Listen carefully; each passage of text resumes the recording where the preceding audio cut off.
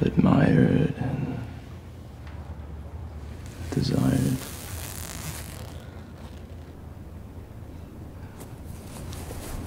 Not hidden away like some ugly, festering wound.